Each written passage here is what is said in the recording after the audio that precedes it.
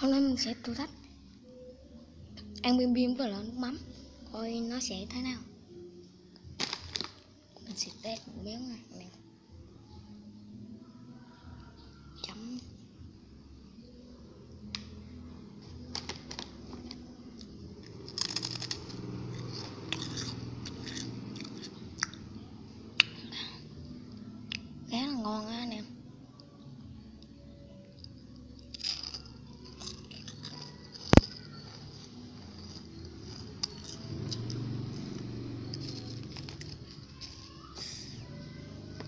Cay quá.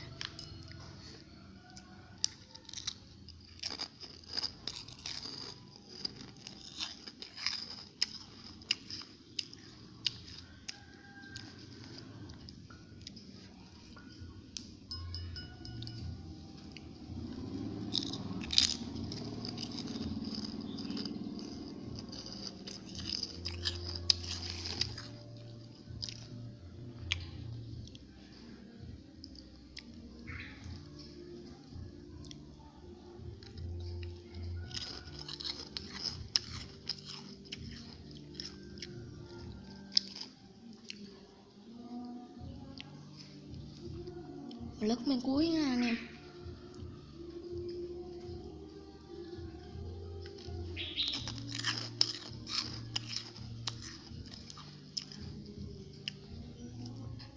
Nếu anh em nào có ý tưởng nữa, thì cứ ấy xuống phần một.